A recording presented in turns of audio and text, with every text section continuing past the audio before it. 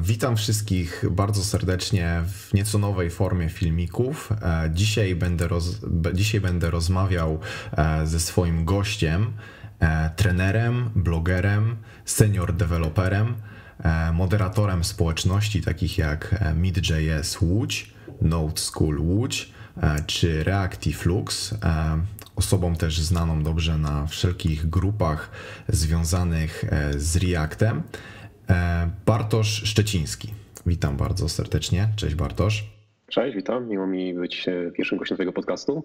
A dziękuję. Dziękuję bardzo, że zgodziłeś się, bo wiem, że zawsze e, no, najtrudniej jest właśnie z, z, tym pierwszym gościem, z tym pierwszym podcastem, z pierwszym filmikiem, więc bardzo jest mi miło, że przyjąłeś moje e, zaproszenie.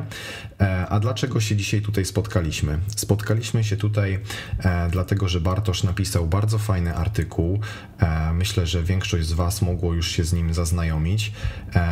Mianowicie chodzi mi o Twój ostatni artykuł React Job Interview Recruiter Perspective. I przy okazji właśnie tego artykułu myślę, że poruszyłeś bardzo dużo e, fajnych zagadnień z tego, jak się przeprowadza techniczne e, rekrutacje, e, jakie są problemy, jakie jest Twoje spojrzenie na ten temat, więc dzisiaj o tym wszystkim sobie porozmawiamy. Na początek chciałbym Cię zapytać, czy tak naprawdę lubisz rekrutację przeprowadzać, czy jednak wolisz e, bardziej się skupić na kodzie i programowaniu? Mhm.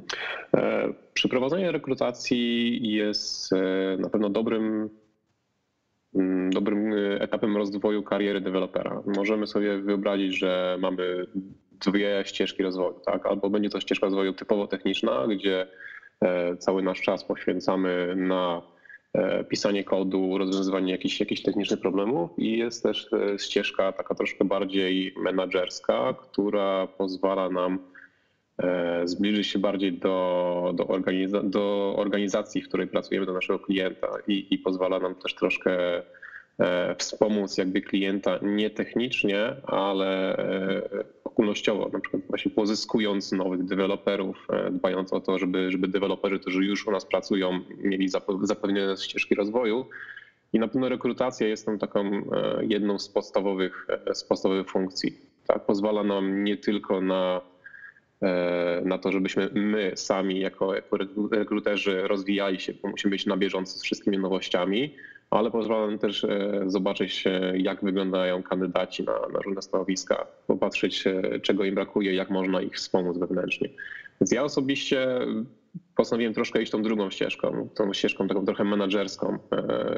Może nie dziś, może nie za rok, ale powiedzmy za pięć lat, więc staram się zobaczyć, jak to wygląda troszkę od drugiej strony.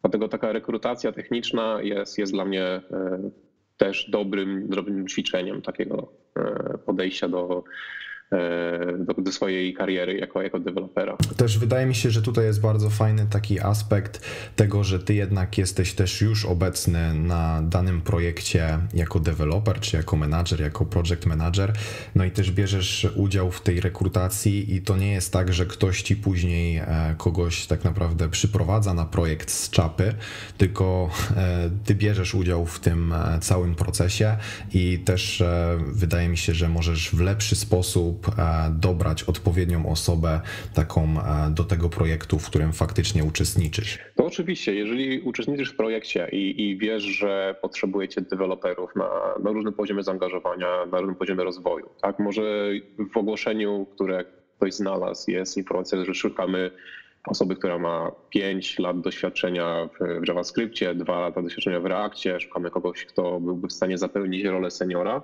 Natomiast w czasie rozmowy orientujesz się, że ta osoba nie posiada dostatecznego doświadczenia, żeby być seniorem, natomiast ma dobre doświadczenia, to żeby zostać tak zwanym regularem, czy, czy może juniorem, którego przy odpowiednim pokierowaniu, przy wskazaniu mu braków e, wiedzy czy braków doświadczeniu, taka osoba będzie mogła powiedzmy za, za pół roku e, zacząć dobrze kontrybuować do, do projektu, być tym, czego szukasz w tym momencie. I ty, jako taki rekruter, który jest na projekcie, a nie zajmuje się typowo rekrutacją, czyli nie jesteś e, tak zwanym HR-owcem, który tylko siedzi i, i wyszukuje programistów. Natomiast wiesz, co jest na projekcie, możesz powiedzieć później do, do swoich przełożonych albo do ludzi z HR-u, że słuchajcie, ta osoba nie nadaje się na stanowisko, którego szukamy, natomiast ja widzę w nim potencjał. Ja wiem, że na naszym projekcie szukamy też deweloperów z mniejszą ilością doświadczenia ja jestem w stanie powiedzieć, że, że on byłby dobrym dodatkiem do zespołu. Za miesiąc mógłby zacząć e, samodzielnie już e, rozwiązywać jakieś problemy, które, które mamy na projekcie. A często zdarzają się takie sytuacje, że ktoś na przykład e, aplikuje na stanowisko seniorskie, przychodzi na rozmowę i później w trakcie tej rozmowy wychodzi, że jednak ta osoba no nie do końca jest seniorem takim, jakiego akurat wy potrzebujecie. No i mówicie tej osobie, słuchaj, fajnie, że jesteś, ale no jakby nie, nie do końca cię widzimy w roli seniora, tylko bardziej widzimy cię jako mida, czy więc wręcz czasami juniora. Mhm. Tak, takie sytuacje się zdarzają. E, osoby przychodzą mm, właśnie na rozmowy kwalifikacyjne, czy, czy na takie interview przed projektem. Muszę też wspomnieć, że prowadzimy rozmowy kwalifikacyjne, interview, ale też wewnętrzne, czyli nie tylko wybieramy ludzi z zewnątrz, ale ludzi przesuwamy pomiędzy projektami i wtedy też musimy zrobić interview. I w takim wypadku jest rzeczywiście sytuacja, że ktoś uważa, że, że jest seniorem, natomiast w danej technologii, na przykład ma 5 lat doświadczenia w JavaScriptie, jest seniorem, e, w, jeżeli chodzi o development JavaScriptu, natomiast nie ma doświadczenia, którego byśmy spodziewali się po kimś, kto jest, e, kto aplikuje na stanowisko senior React Developer. I tu od razu zaznaczę, że dużo osób się e, strasznie, strasznie oburza za takie stwierdzenia typu senior React Developer czy, czy właśnie developer z doświadczeniem w Reakcie, że nie powinno się szukać osób, które mają doświadczenie w danej bibliotece, bo to jest coś, czego, czego senior developer może się douczyć. Z jednej strony takie stwierdzenie jest jak najbardziej ok, bo jesteśmy deweloperami, nasze, naszym zadaniem jest dopasowanie technologii do tego, co, z czym akurat pracujemy. Z drugiej strony musimy się też troszkę liczyć z oczekiwaniem klienta. Czyli jeżeli nasz klient poszukuje e, senior React Developera, to znaczy, że szuka osoby, która ma doświadczenie, może zacząć kontrybuować do projektu już dzisiaj. E, oczywiście mogą być deweloperzy, którzy douczą się i, i, za miesiąc, za dwa miesiące będą w stanie kontrybuować na takim poziomie jak e, inni deweloperzy na projekcie.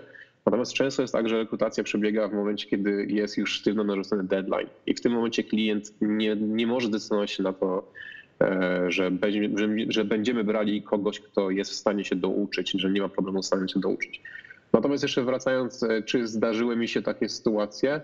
E, prywatnie zdarzyła mi się taka sytuacja. Do firmy, do której, e, do której startowałem ja na stanowisko senior developer, poszedłem na technical interview, gdzie rzeczywiście było to interview już godzinne. Musiałem rozpisać różne algorytmy, napisać jakieś natywne implementacje funkcji JavaScriptu. E, zostało mi wypunktowane, gdzie rzeczywiście miałem błędy, gdzie miałem, gdzie miałem braki. I e, to było też dla mnie bardzo dobre, bo po pierwsze ja byłem w stanie e, dowiedzieć się, gdzie rzeczywiście mi brakuje, czego powinien się douczyć, o czym powinien doczytać. A firma, do której startowałem, zaproponowała mi właśnie, że co prawda nie nadaje się na seniora, co prawda nie szukają w tym momencie na stanowiska niższe, natomiast są w stanie zaryzykować, dać mi tą szansę, i ja tą ofertę od nich podjąłem na troszkę niższe stanowisko, przy troszkę niższych zarobkach. E, przez około rok pracowałem na stanowisku regular JavaScript developer, po czym poszedłem do promocji i po roku już miałem to stanowisko, na które aplikowałem początkowo. Więc na pewno nie ma, nie ma tutaj co się, co się zrażać. Takie sytuacje się zdarzają. Te tytuły, którymi, którymi operujemy, są troszkę takie luźne, że to, co dla jednej firmy może być senior developerem, w innej firmie może być regular developerem, a to, co w jednej firmie jest e, team leadem, w innej może być e, senior developerem. Dlatego mimo, że nam się wydaje, że doskonale nadajemy się na seniora, ktoś może powiedzieć, że troszkę nam jeszcze brakuje i tutaj nie ma co się jakby obrażać, nie ma co, co rezygnować z takiej firmy. W twoim konkretnym zdarzeniu, o którym opowiedziałeś, e, bardzo mi się podoba jakby ta transparentność, czyli e, poszedłeś do whiteboarda, było jasno widać, że coś mogłeś zrobić źle, coś mogłeś zrobić dobrze, później to było wszystko wypunktowane i tak naprawdę było o czym rozmawiać, tak, że ktoś mógł powiedzieć, słuchaj, słuchaj, tutaj poszło trochę nie do końca tak jak powinno, mhm. E, nie nadajesz się na seniora może w tym momencie, ale cię przyjmujemy jako regulara. Natomiast wydaje mi się, że w niektórych firmach właśnie to jest problem, że ktoś jakby wręcz czasami wydaje mi się e, oszukuje trochę kandydatów, czyli mówi, że zaprasza na seniora, oferuje jakieś konkretne widełki, żeby przyciągnąć ludzi, a później tylko mówi: Słuchaj, no e, wydaje nam się, że ty nie jesteś seniorem, tylko jesteś na przykład midem, więc słuchaj, wpadaj do nas, ale no za niższe pieniądze. I wtedy tak naprawdę brakuje mi tej właśnie transparentności oraz faktycznie wykazania, dlaczego ja się nie nadaję na tego seniora. Mhm. Tutaj też jest jakby y, moment dla kandydata, czyli zwykle pod koniec każdej rozmowy kwalifikacyjnej jest taki moment, gdzie e, osoba prowadząca wywiad, e, interwiu zadaje pytanie, czy ty masz do nas jakieś pytania w tym momencie. I zakładając, że rzeczywiście nie zostały nam te błędy wypunktowane w czasie, w czasie danego prezentacji danego rozwiązania, to to jest moment na zapytanie, E, co zrobiłem nie tak w danym przykładzie? Gdzie widzicie szansę, mm, gdzie widzicie potrzebę mojego, e, mojego rozwoju? Co powinienem wiedzieć więcej, żeby zapewnić stanowisko seniora w waszej firmie? E, tak jak mówisz, możliwe, że zdarza się taka sytuacja, że, że ogłoszenia są dawane na wyższe stawki, na wyższe stanowiska niż rzeczywiście, niż rzeczywiście firma potrzebuje. Osobiście nie spotkałem się z, takim, z taką sytuacją, natomiast to jest też troszkę taka, taka dla, nas, dla nas ryzyko. Tak? Albo możemy w tym momencie stwierdzić, że ok, rzeczywiście nie nadajemy się na seniora, pójdziemy sobie do tej firmy, popracujemy rok, zobaczymy, czy uda nam się pociągnąć wewnętrznie. Albo możemy powiedzieć sobie, ok, to nie jest jedyna firma na rynku. W tym momencie na, na rynku zapotrzebowanie na deweloperów JavaScriptu jest naprawdę bardzo, bardzo duże. To jest e, też dla mnie troszkę zaskakujące, bo i, i stawki, i ilość ogłoszeń, które widzę w porównaniu do takich typowych języków programowania typu Java, .NET, e, JavaScript jest dużo więcej, więc jesteśmy w takiej troszkę komfortowej sytuacji, gdzie to pracodawcy się o nas biją. Więc jeżeli mamy rzeczywiście możliwość pójść do innego pracodawcy, e, sprawdzić się u niego i dostać lepszą ofertę, to jak najbardziej powinniśmy powiedzieć, że OK, dziękujemy za tę ofertę, zastanowimy się, odezwiemy się w, w, ciągu jakiegoś tam czasu, 10 dni czy, czy tygodnia. To, że po rozmowie kwalifikacyjnej e, pracodawca potencjalny mówi nam dziękujemy, odezwiemy się w ciągu iluś tam dni, to nie jest jednostronne. To nie jest tak, że jeżeli my dostaniemy od niego ofertę, my od razu musimy przyjąć ją taką, jaką jest. Możemy wciąż troszkę ponegocjować możemy uznać, że, że oferta jest troszkę zbyt niska, ale ok, możemy przystać na Państwa ofertę przy troszkę lepszych warunkach. Mhm. E, a jeszcze odnośnie e, przyjmowania przez Ciebie kandydatów na rekrutację, E, czy często zdarza się sytuacja, że przychodzą osoby nie do końca przygotowane, czyli tak właśnie wykorzystują e, ten taki dobrobyt, że jest właśnie duże zapotrzebowanie na programistów i tak sobie myślą, a dobra, przyjdę, zobaczę jak to będzie, a nuż mnie przyjmą. Mhm. Może nie często, natomiast zdarza się. Zdarzały mi się na rozmowach kwalifikacyjnych osoby, które e, popełniały podstawowe błędy. Było widać, że E, nie mają doświadczenia w, w danej technologii, natomiast e, w swoim CV, które przesłały wcześniej, pokazywały, że pracowały na tym czy tamtym projekcie, który używał tej technologii. Podczas rozmowy to wychodzi, tak? Zadajesz pytanie, które jest tak skonstruowane, żeby rzeczywiście e, dowiedzieć się o konkretną rzecz. Osoby te odpowiadają błędnie w tym momencie ja troszkę naciskam, tak? Pytanie, czy jesteś pewien, że dokładnie tak to działa, a gdybyśmy podeszli do tego inaczej, gdybyśmy to troszkę inaczej omówili, czy byłbyś pewny takie odpowiedzi? I niestety tak, zdarzają się, zdarzają się takie sytuacje, gdzie, gdzie kandydat rzeczywiście idzie w zaparte i jest jakby przekonany o, o, o tym, że, e, że, że ma rację, tak? I, i opowiada cały czas tak samo. Natomiast dużo częściej zdarza się, że na rozmowy przychodzą osoby, gdzie nawet bez rozmowy z nimi, iż jesteśmy w stanie powiedzieć, że one nie mają tego doświadczenia, którym się, którym się mm, tak to powiem, afiszują. E, duża część pracy rekrutera to nie jest tylko przyjście na rozmowę i przeprowadzenie e, 100 pytań do danego kandydata. E, duża część pracy odbywa się zanim takie spotkanie e, się, się zorganizuje. Czyli na przykład ja dostaję od działu HR czy od, e, od innej osoby, która zajmuje się organizowaniem takiego interwiu, dostaje CV kandydata. Dużo z nas zamieszcza na przykład linki do swojego profilu GitHub. Wchodząc na taki profil GitHub, gdzie szukamy kogoś na stanowisku np. senior developer ze znajomością Reacta, ja wchodząc na jego profil GitHub widzę, że miesiąc temu zrobił sobie kurs typu podstawy z Reacta, i skończyło się to praktycznie na tym, że wykonał forka repozytorium, które, które stworzył prowadzący kurs, wprowadził dwa, dwie, trzy zmiany z komitami i to cały czas u niego jakby wisi na tym, na tym profilu GitHuba e, i jest jako publiczne i jako zmodyfikowane miesiąc temu.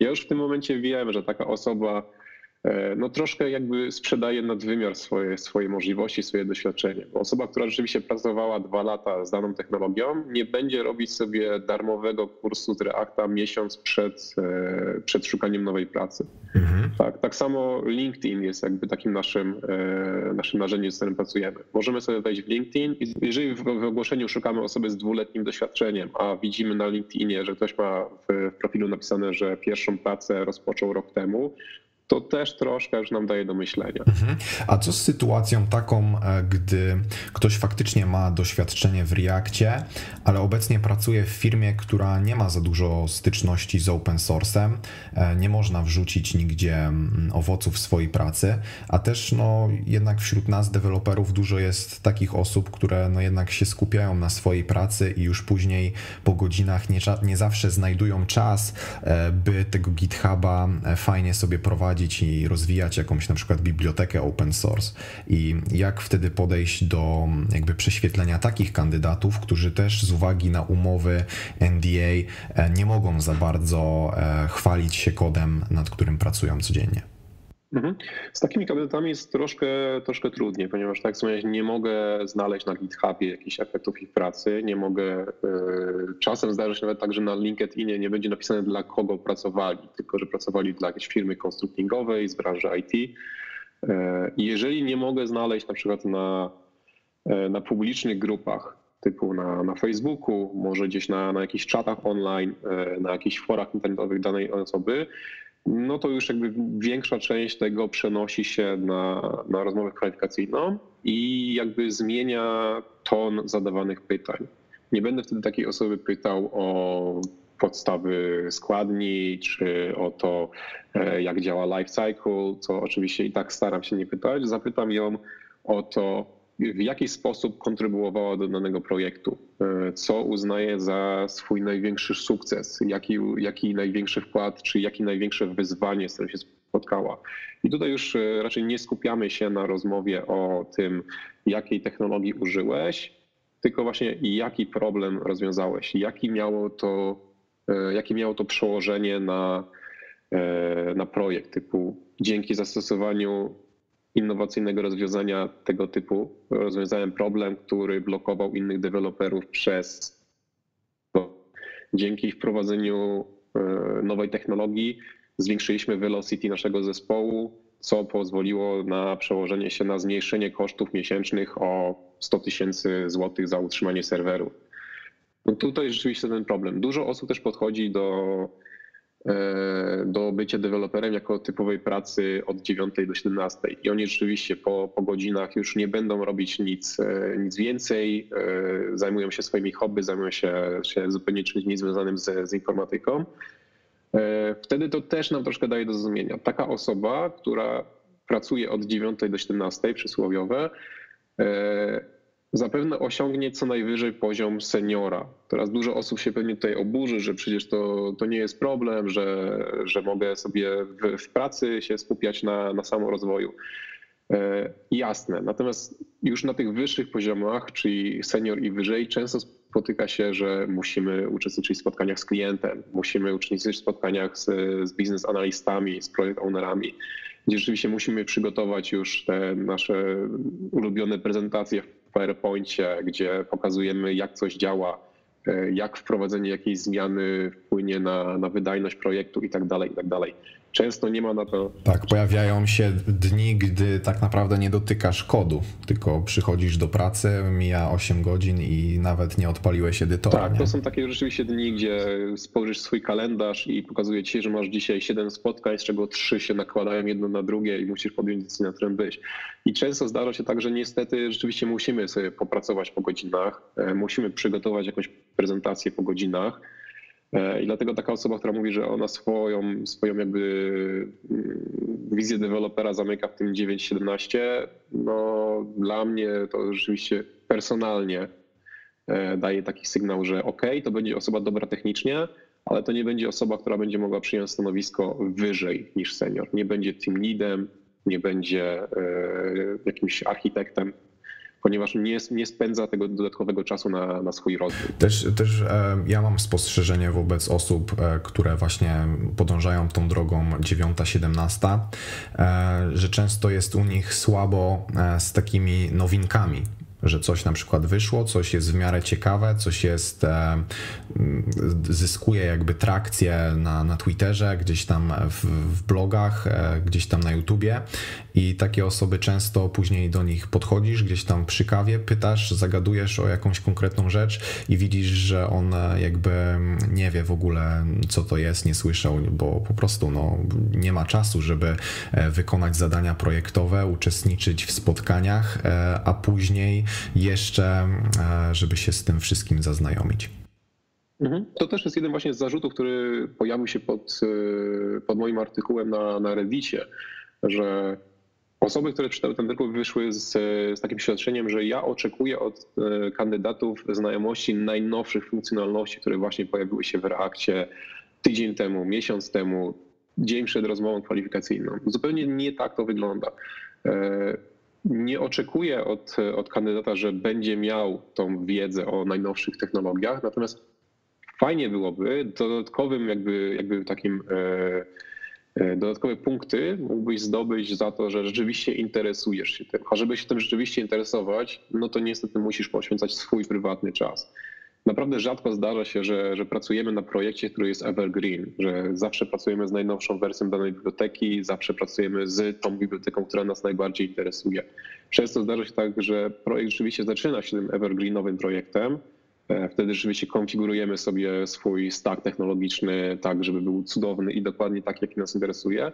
Natomiast te projekty trwają rok, dwa lata, pięć lat, czasem nawet dłużej. Przez ten czas technologia się e, rozwija dosyć dynamicznie, natomiast my nie jesteśmy sobie w stanie pozwolić zaktualizować naszego produktu. E, biznes nie widzi w tym żadnych, żadnych wartości. Mówi, dopóki to działa, to nie ma problemu, działamy na tej samej technologii, która działała dwa lata temu. I teraz deweloper, który rzeczywiście interesuje się tylko tym, co używa w pracy, zatrzymuje się w rozwoju. A E, jest takie dobre powiedzenie, które ja teraz na pewno e, tutaj zamorduję, cytując, że deweloper, który zatrzymuje się w rozwoju, cofa się. Mhm. Tak, jeżeli nie, nie, śledzimy na bieżąco tego, co się dzieje, chociażby po to, żeby wiedzieć, co się dzieje, jakie są trendy. Nie mówię, że musimy od razu uczyć się tych wszystkich, e, wszystkich nowych rozwiązań. Czy, czy Ale chociaż wiedzieć o nich, nie? Tak, dokładnie. Jeżeli chociaż będziemy wiedzieć, że ktoś mi rzuci hasło, co to jest React Pens. I ty powiesz, no słyszałem, że to jest to i to, pomaga nam zrobić to i to, natomiast w naszym projekcie tego nie używamy. To dla mnie to też jest e, super informacja. Wiem już, że jesteś osobą, która ma jakieś zainteresowania w danej technologii, e, osobą, która chce się rozwijać. Tak? Samorozwój dewelopera jest bardzo istotny. Mhm. Tutaj też e, to o tym, o czym powiedziałeś, że właśnie można pracować na takim projekcie, gdzie jakby nie, nie, nie korzysta się ze wszystkich takich nowinek, to też mi się wydaje, że często takie osoby mogą wpaść e, w taką trochę e, pułapkę seniorską, czyli że w jednej firmie i na jednym projekcie przez to, że są 2, 3, 4 lata, zyskują status tego guru, tej najmądrzejszej osoby w pokoju, tego seniora, a później kiedy już, e, nie wiem, ta osoba chce się przeprowadzić albo po prostu zmienić firmę, okazuje się, że no nie jest to takie łatwe, bo zmiana firmy, zmiana projektu oznacza degradację z tego guru, z tego seniora do osoby, która jest e, tak naprawdę midem, ponieważ e, te 4 lata się sporo zmieniło, sporo wyszło nowych rzeczy i na tych innych projektach już nie jest używane to, co w tamtym poprzednim i po prostu no, to już może być taka nieciekawa sytuacja, że wręcz e, trzeba zejść na to niższe stanowisko i czasami zarabiać mniej. Mhm. To jest dokładnie tak jak mówisz. To, to jest ten przykład, który, którym ja podałem siebie. Tak? Ja pracowałem wcześniej przez około 8 lat jako deweloper PHP. E, Zajmowałem się wdrażaniem e, rozwiązań open source'owych typu, typu WordPress, typu e, jakieś CMS-y mm, komercyjne. Wdrażałem się też rozwiązań, zajmowałem się też wdrażaniem rozwiązań naszych prywatnych w firmie, gdzie były to prywatne systemy CMS, CRM. Czułem się już naprawdę dobrze. Osiągnąłem ten przysłowiowy sufit w danej firmie. Tak? W tym momencie już widzisz, że nie ma miejsca rozwoju, jedyne co jest nad tobą to jest e, właściciel firmy, e, więc uważasz, że okej, okay, no to w takim razie już jestem tutaj jakby wyznacznikiem w firmie, jestem tym seniorem, mogę przenieść się do innej firmy, poszedłem na to interview do innej firmy i tam rzeczywiście wskazano mi braki. Tak, to troszkę wiązało się z tym, że typowa zmiana technologii z PHP na, na czysty JavaScript, e, natomiast braki, które mi wskazano, to były takie braki ogólne, braki jakby w edukacji książkowej i rzeczywiście to jest taka sytuacja, gdzie, gdzie nam się zda, zdaje, że to, co wkładaliśmy w, w swój rozwój do tej pory, pomogło nam osiągnąć jakiś sukces w danej dziedzinie, więc już czujemy się super, ale okazuje się, że naprawdę jest tego dużo, dużo więcej. Oczywiście tutaj wchodzimy w tak zwany imposter syndrom, czy, czy syndrom E, już nie wiem, jak to się po polsku tłumaczy, a w którym po prostu patrzymy, zapatrujemy się na innych deweloperów. Mówimy, że im się udało, a, a ja jestem jakby takim nikim. To musimy pamiętać, że im się udało, bo oni poświęcali na to troszkę więcej niż te właśnie od 9 do 17. Oni e, zaczynali od jakichś, e, jakichś prostych rzeczy również lata temu. Zaczynali Jakiś czas temu na Twitterze przewijał się taki hashtag, gdzie deweloperzy, którzy są rozpoznani w community, pokazywali swoje pierwsze pytania, które zadawali na Stack Overflow. E, I jest e, jeden z znanych deweloperów, e, Tyler McGuinness z, z, ze świata Reacta. O, świetny, pytanie... ma, świetny ma kurs, naprawdę polecam tak, każdym To jest, to jest człowiek, kurs. który po prostu tworzy dużo kursów, tworzy dużo popularnych bibliotek, które na pewno używacie. Cały projekt Reach, który koncentruje się na accessibility bardziej wrzucił swoje pierwsze pytanie do, na Stack Overflow, gdzie pytał naprawdę o jakieś podstawy HTML-a, typu link nie otwierał się w nowym oknie, e, jak to zrobić? Okazało się, że wystarczyło dodać parametr target równa się podkreśnik blank. Tak? I to są rzeczywiście osoby, które dla nas są dzisiaj e, takimi wyznacznikami ludzi, którym się udało, ale widzimy, że oni też zaczynali od tych, od tych, e, od tych samych początków, gdzie każdy inny przeszli przez to, przez to wszystko, przez co my przechodzimy, natomiast poświęcili na to dużo więcej czasu. Skąd biorą, skąd biorą ten czas? Sam chciałbym wiedzieć. tak, ale no to, to jest prawda, że wiele osób właśnie ma takie, myślę, trochę nieprawidłowe myślenie, że o, jemu się udało, albo o, jemu to tak łatwo przychodzi, ale no trzeba pamiętać, że nikt jednak na tym świecie się nie rodzi e, z umiejętnością programowania, z umiejętnością e, pisania w React Native, w React JS. E, to po prostu wszystko jest okupione ciężką pracą i wiadomo, jeden musi poświęcić dwie godziny, jedna dziewczyna starczy jej godzina, e, więc e, najważniejsze jest to, żeby po prostu e, mieć chęć i starać się przesuwać te swoje granice coraz dalej. Chciałbym Cię jeszcze zapytać, jakie masz rady dla ludzi, którzy na przykład jutro po przesłuchaniu tej naszej dzisiejszej bardzo ciekawej rozmowy pójdą na rozmowę kwalifikacyjną jako React Developer? Jeżeli wybramy się na rozmowę jutro, to już troszkę za późno, żeby szukać jakichś informacji technicznych. Natomiast na pewno poleciłbym e, przejrzeć właśnie jakieś nagrania z konferencji, które się ostatnio wydarzyły. Jesteśmy tak w takim momencie, że dopiero co było ReactConf 2018, na którym było pokazane dużo nowej technologii, e, co, co w Reakcie stało się w ostatnich miesiącach, co może stać się za E, za parę miesięcy, więc to na pewno jest to, co pozwoli właśnie Wam zyskać trochę dodatkowych punktów, e, pokażecie, że, że interesuje się technologią. Natomiast to, co mógłbym radzić, to jakby nie dotyczy już typowo, typowo Reacta, czyli podejście do, do interview. Pamiętajcie, że tak samo jak, e, jak wy stresujecie się przed interview, tak samo ta osoba techniczna, która was, e, was przygotuje, też się będzie troszkę stresować. Dla nich to też nie jest coś e, zwykle, z czym zajmują się na co dzień. Przynajmniej mam taką nadzieję, że nie będzie z wami przeprowadzać rozmowy osoba, która jest typowym HR-owcem, która dostała wydruk 100 pytań do i zadaje te, te, te, pytania po prostu jedno po drugim, a na wasze odpowiedzi mówi tylko mm mhm mm i przechodzi do następnego. Jeżeli macie jakieś wątpliwości co do pytania, nie rozumiecie e, o co dokładnie pyta, co, co próbuje wysądować osoba przeprowadzająca z wami interview, dopytajcie. Czyli zapytajcie, e, czy w tym pytaniu chodzi o life cycle, czy w tym pytaniu chodzi o pobieranie danych z zewnętrznego API. E, po każdej odpowiedzi, którą udzielicie, jeżeli już czujecie, że to jest ta odpowiedź, Mm, wyczerpująca dane pytanie i że będzie przejście do następnego pytania, e, postarajcie się zapamiętać sobie reakcję osoby, która prowadziła interwiu, żeby później móc dopytać, jeżeli ona w tym momencie nie wskaże wam, że no, to nie jest ta odpowiedź, której się spodziewaliśmy, chodziło bardziej o to i o to, to pamiętajcie, żeby pod koniec interwiu dopytać e, o to, jak wam poszło, gdzie ta osoba widzi możliwość e, poprawy, na co powinniście osobiście zwrócić uwagę.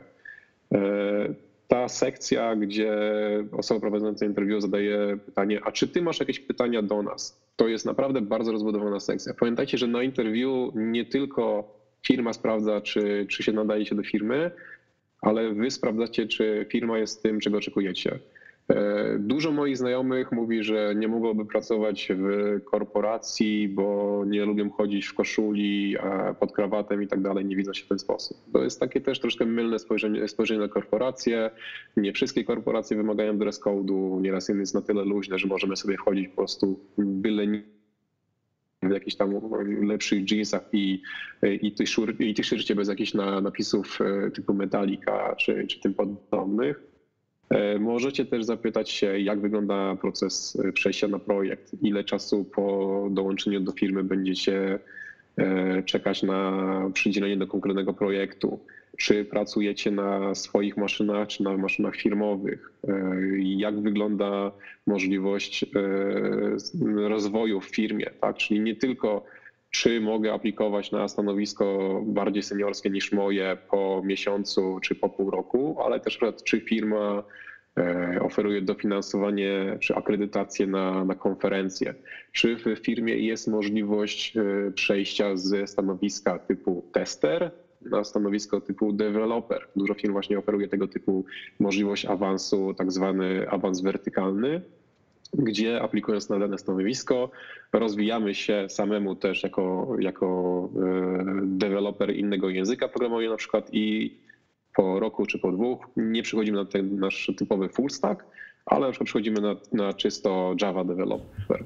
E, też właśnie tutaj to, co powiedziałeś, e, jest moim zdaniem e, bardzo kluczowe w, właśnie w uczestniczeniu w rozmowach kwalifikacyjnych, żeby wykorzystać tą przestrzeń do zadawania pytań, ponieważ to, jakie kandydat zadaje pytania, też pozwala łatwo wysądować, czy ta osoba w ogóle wie, o czym ona mówi, tak? Bo jeżeli ktoś właśnie pyta o to, e, na przykład w jaki sposób projekt jest wdrażany, jakich używacie na przykład frameworków do testowania, jak wygląda flow na przykład przydzielania zadań, z kim ja rozmawiam, czy tylko z project managerem, czy wszyscy mnie atakują z każdej strony, e, jakie są kanały wymiany informacji, jak to wygląda u was, to też jakby takie pytania moim zdaniem też e, często potraf, pozwalają wysądować, czy ta osoba faktycznie uczestniczyła w dużych e, projektach komercyjnych i czy jakby przykłada wagę do tego, żeby te wszystkie elementy e, po prostu dobrze działały. Tak, dokładnie. To jest e, dosyć, dosyć istotna część rzeczywiście interwiu, pytania z waszej strony. Mój, mój, artykuł tego nie, nie porusza, natomiast znajdziecie na pewno link do, do artykułu Karla, który, który właśnie skupia się w serii, w serii blog postów na, na tym temacie. Gorąco polecam zapoznanie się z, z tymi artykułami. Wrzucimy na pewno e, pod nagraniem. Tutaj jeszcze chciałem e, zapytać Ciebie o takie rady, e, które miałbyś dać właśnie tym osobom, którym się zdarzy uczestniczyć w tym procesie rekrutacyjnym, ale z drugiej strony stołu, czyli osoby, które właśnie przeprowadzają techniczny wywiad bo też liczę, że takie osoby nas e, posłuchają, e, więc gdybyś miał im udzielić jakiś rad właśnie, jak się mogą e, przygotować do takiej rozmowy, na co zwrócić uwagę, jak może właśnie trochę rozładować ten stres towarzyszący rekrutacji. Mhm. Ze swojej strony na pewno mm, jak przygotowywałem się do tego typu rozmów, to na początku sam wpisałem jak prowadzić rozmowy rekrutacyjne, jak przygotowywać się do rozmowy rekrutacyjnej, żeby zorientować się mniej więcej e, z jaką wiedzą przyjdzie do mnie kandydat. Tak, wpisując e, React Interview 2018, znajduję te same wyniki, które znajdzie osoba e, przychodząca na tę rozmowę i wiem, o co ona spodziewa się, że ja zapytam. Mogę w tym momencie wyfiltrować sobie tak zwane mm, pytania proste pytanie techniczne, tak? Nie będę pytał o to, co to jest Virtual DOM, nie będę pytał o to, e, czym się różnią propsy od state'u, bo nie jest to coś, e, czego spodziewam się, że kandydat nie będzie wiedział. To jest coś, co ja zakładam, że ten kandydat wie. E, jako osoba pracująca na projekcie, tak jak wspomniałem, mam wiedzę, jakich technologii używamy na projekcie mam wiedzę, z jakimi typu problemami stykamy się na projekcie, więc staram się przygotować pytania e, tak, żeby zobaczyć, czy kandydat będzie w stanie radzić sobie z takimi problemami, żeby zobaczyć sobie, czy spotkał się już z takimi problemami. Na pewno nie przygotowuję pytań, e, pułapek, które mają za zadanie zagiąć kandydata. Nie chcę pokazać kandydatowi, że on na niczym się nie zna, że, że nie ma tej wiedzy, którą my szukamy właśnie. Tak mówiłem wcześniej, że możliwe, że są takie, takie spotkania rekrutacyjne, gdzie są pytania zbyt ciężkie, a potem mówię, o sorry, na seniora się nie nadajesz, na, na juniora jak najbardziej. Staram się nie zadawać tego typu pytań, ponieważ nie przyniosą one mi, jako osobie rekrutacyjnej, e, żadnej dodatkowej wiedzy e, na temat kandydata. Nie powiedzą mi, czy on się super nada, bo to są pytania, które na przykład mi potrafią zająć e, rozkminienie, dlaczego działa w ten sposób, potrafi zająć parę, parę minut, parę godzin, więc e, nie będę ich zadawał kandydatowi jako, jako pytania rekrutacyjne. Jeżeli widzę, że kandydat sobie super radzi z tymi średnio skomplikowanymi pytaniami, wtedy to jest taki moment, że mówię, że ok, tu mam takie pytanie bonusowe i to jest jakiś tam edge case, nie, nie przejmuj się, jeżeli nie będziesz w stanie na niego odpowiedzieć i zadaję takie pytanie. Jeżeli kandydat odpowie na to pytanie poprawnie, to dla mnie to jest duży plus, duży wow, bo to rzeczywiście są pytania, trzeba już wgryźć się w daną technologię. Jeżeli nie odpowie na nie poprawnie albo e, gdzieś zamęta się w odpowiedzi, w ogóle nie biorę go pod uwagę, w sensie tego pytania. Nie biorę pod uwagę, nie było go, e, nie będę w ewaluacji kandydata tego, tego. E, na pewno, jeżeli idziemy na taką rozmowę, zapiszmy sobie pytania na kartce, niekoniecznie na, na komputerze, może to być na kartce, wtedy wygląda to moim zdaniem jeszcze fajniej. Pogrupujmy je sobie, czyli zróbmy sobie tak, że we wstępniaku chcemy dowiedzieć się o kandydacie, czym zajmował się do tej pory, e, dlaczego postanowił zmienić e, pracę, dlaczego postanowił zmienić firmę, jakiej roli znajdował się do tej pory, tak? Czyli czy to był właśnie typowy deweloper. Następnie przechodzimy do takich pytań e, już stricte technicznych, gdzie, gdzie pytamy o, o te właśnie wszystkie zagadnienia, które mogą nas interesować na projekcie, z którymi będziemy się, się spotykać, gdzie pytamy o doświadczenie przy używaniu jakichś narzędzi, których używamy na projekcie i wiemy, że, że kandydat też ich będzie używał. Natomiast na koniec ja zadaję zwykle takie pytania typu e, co uważasz za swój największy sukces? Z jakim największym problemem się spotkałeś i jak go rozwiązałeś? I moje ulubione e, pytanie, gdybyś miał nieograniczony budżet czasowy i finansowy, co byś zrobił inaczej w poprzednim projekcie? E, czy na przykład użyłbyś innej technologii, bo wiesz, że byłaby lepsza, ale nie udało ci się tego przyforsować? Zastosowałbyś jakieś rozwiązanie i sprawdził, jak ono wpłynie na, na wydajność czy, czy na velocity zespołu. Tak, to jest takie pytanie typowo otwarte. Może być na przykład pytanie typu, e, co byś zrobił inaczej i kandydat mi odpowie, nie użyłbym Reacta, tylko Angulara. I ja wtedy, o, a dlaczego? Co, co uważasz, że mogłoby pójść lepiej? I kandydat powie, no tutaj lepiej by się sprawował, ponieważ e, ma dużo bibliotek do budowania formularzy, których nie ma w Reakcie i tak dalej, i tak dalej. To jest dla mnie naprawdę duża wiedza i to jest taka wiedza, którą mogę przekazać ludziom z HR właśnie w takiej sytuacji, kiedy E, ktoś aplikuje na dane stanowisko, nie jestem przekonany, że on się nada na stanowisko, natomiast z tych dodatkowych pytań jestem w stanie wyciągnąć informację, że ale nadałby się na juniora, ale aplikuje na seniora, ale myślę, że nawet by się nadał na team leada, który byłby w stanie e, poprowadzić cały zespół, pomóc innym deweloperom. I oczywiście ostatnia rzecz, musimy przygotować się na to, że kandydat nam będzie zadawał pytania. Tak? Czyli kandydat zada nam pytanie, E, jak długo muszę czekać teraz na odpowiedź e, od waszej firmy, e, czy mnie przyjmujecie, czy nie. Właśnie jak wygląda ten dress code, jak wyglądają możliwości awansu w firmie, dlaczego pojawiło się to miejsce na, na dewelopera? Czy dlatego, że po prostu wasza firma się rozwija i potrzebujecie więcej deweloperów, czy może dlatego, że produkt jest na tyle męczący, że poprzedni deweloper się wypalił, miał dość i odszedł? Takie sytuacje też się, też się naprawdę zdarzają, że nagle firmy zaczynają na gwałt szukać deweloperów, a jak się okazuje dlaczego, to bo jest taka rotacja, że nam się pracownicy zmieniają co trzy miesiące. Mhm. Nie wiem akurat, czy to jest taka informacja, którą ci pozwolą wyjawić w trakcie takiego wywiadu. Tak, no to też musimy, musimy troszkę wiedzieć, tak, że musimy powiedzieć, no na część pytań nie możemy odpowiedzieć, natomiast e, no, z naszej strony dbamy o to i o to. Tak, tak Więc ale troszkę to... rzeczywiście taka polityka się zaczyna. Mhm, ale to jest bardzo dobre właśnie, co powiedziałeś, żeby przygotować się na takie pytania, bo po prostu to wygląda profesjonalnie w sytuacji, gdy ktoś cię pyta, słuchaj, e, jak tutaj wyglądają dalsze kroki, no to jeżeli tylko ucinasz, że nie, nie, nie, ja to, to już nie do mnie i tak dalej, to też moim zdaniem to wygląda tak e, nie do końca profesjonalnie. Fajnie, jeżeli w takiej rozmowie faktycznie jest się partnerem e, dla tej osoby, która aplikuje do firmy i to już może, wydaje mi się, w tych takich ciężkich czasach, gdy bardzo ciężko jest pozyskać dobrego pracownika, zwłaszcza seniora, e, można go właśnie skłonić ku tej decyzji, by wybrał właśnie Twoją firmę, którą reprezentuje prezentujesz właśnie poprzez takie, taki pełen profesjonalizm i odpowiadanie na wszystkie pytania e, kandydata. Mhm, jak najbardziej się zgadzam. Mhm, dziękuję Bartosz bardzo um, za, za tą um, wielką porcję um, wiedzy na temat rekrutacji e, React deweloperów.